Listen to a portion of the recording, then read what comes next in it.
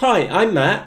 And I'm Dave. And in this Magento 2 Basics tutorial, you're going to learn how to enable the fixed rate shipping option in Magento 2. And the good news, Dave, this is just as easy as many other things in Magento. And also, before we jump across to our desktop and show you how to set this up, it's also worth noting that you can use fixed rate shipping with other shipping methods within your Magento site. So for example, Dave, a few seconds ago, we just finished recording the free shipping option within our Magento system is that you can have fixed rate shipping and free shipping options going on at the same time if you wish. And I'll point that out for you when we get there in a few moments. With that said, let's jump across to our desktop. This is dead simple to set up, so follow us along in your system. So Dave, we've come across to our Magento admin area. Setting this up, dead simple to do. So we'll want to go down to stores and then underneath the settings menu, click on configuration. Now Dave, just like the rest of our tutorials, we are assuming that you've only got one Magento site set up with a single store view. It is worth pointing out that Magento does allow you to set up different shipping options on different stores, but for this tutorial we're just keeping it simple. We're just going to show you how to set this up for a single store. If you did want to set this up for multiple stores, you'll want the drop down box up here and you can set different shipping options for different Magento 2 websites. So with that said Dave, we need to scroll down and the section which we're after is underneath sales on the left hand menu. So let's expand that out and then click on shipping methods from the left hand menu.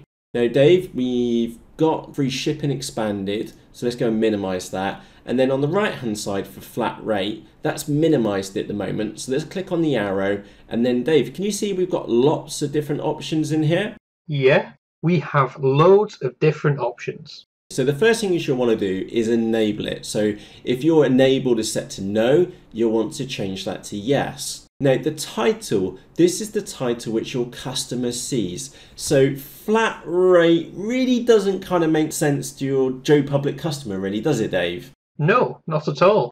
Something like standard shipping would make more sense or standard postage, something like that? Yeah, that would be much clearer. So change the title and just be aware that's the title which your customer sees during the checkout. So change that or word that as you see fit. The method name is the internal name, so we would suggest leaving that as fixed. Now, Dave, this is one setting which is very easily overlooked, but it's very, very important. If we added an item or maybe three items to our shopping cart right now, as a customer with these settings, we would be charged £15 or $15, whatever the currency setting is because the type has been set to per item. Now really, that's not the norm. Instead, you'll want to click on this one and then choose per order. So now we'll be charged £5 or $5 for the whole order. Okay, so I'm actually going to change that to $4.99. Now, if you do want to set up handling fees, you can either have that as fixed or as a percentage, and you would enter the value in there. Also, Dave, you can also set up the shipping method to only be available to specific countries. If that's something which you desire, then drop down this box and then choose specific countries. Now, as you may have guessed by the accents, both myself and Dave are based in the United Kingdom. So I'm going to scroll this down and then choose United Kingdom. So let's go and click on here. Now this shipping method for $4.99 is only going to be available to customers who have been set their delivery country as the United Kingdom. Also, it's worth pointing out, just as such a daft one, Dave, show method if not applicable, then both myself and Dave would suggest leaving that as no. Because the worst thing is, is seeing a whole big raft of different shipping options within your checkout, and none of them can be selected by your customer. They'll think that your website's broken or something like that. So where it says show method if not applicable, change that or leave that as no. But in our case, we're going to drop that back and choose all allowed countries. Oh, Dave, before we just wrap up, it's also worth pointing out the sort order. So for example, we've got flat rate shipping, which we've just been set up here. I'm going to set that as number five. And the reason why I'm going to set this up in fives or maybe tens are easier is because if we had free shipping set up as well, we may want the free shipping to appear above that. So we can set that as 5. Now the numbers which you can use are from 0, 1, 2, 3, 4, 5. The lower the number, the higher it appears within the checkout. I believe that's correct. By the way, I'm not 100% sure, so do just quickly check that on your Magento website. It's very easy. Just add an item to your cart and go into your checkout and just check on the ordering. But the sort order, but you'll also notice that none of these I set zero. And the reason why I didn't set zero is because if we wanted to add another shipping method at a later date, we could force that shipping method to the very top by setting that as zero. Does that make sense, Dave? Yeah, definitely. Okay, so the sort order is important, especially if you're using more than one shipping method. And of course, if you have made some changes within your configuration settings, don't forget to press Save Config at the top. Now, Dave, we will get a message at the top saying about cache management.